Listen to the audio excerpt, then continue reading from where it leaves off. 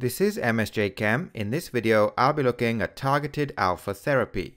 Targeted alpha therapy is a form of cancer treatment that uses radioactive isotopes that undergo alpha decay. Targeted alpha therapy selectively targets and kills cancer cells.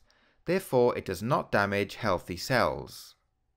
It is used to treat melanoma, breast, rectal, ovarian, prostate, and pancreatic cancers. In targeted alpha therapy, an alpha emitter attaches to an antibody through the use of a chelator. The antibody is a protein that binds specifically to cancer cells that possess a particular antigen. This ensures that only specific cancer cells are targeted and healthy cells are not damaged. The isotope lead-212 is used in targeted alpha therapy.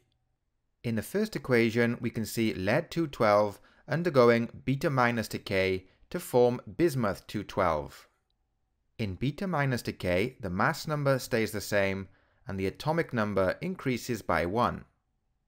In the second equation, bismuth 212 undergoes alpha decay to form thallium 208. Note that the alpha particle is represented as a helium nucleus. In alpha decay, the mass number decreases by 4 and the atomic number decreases by 2.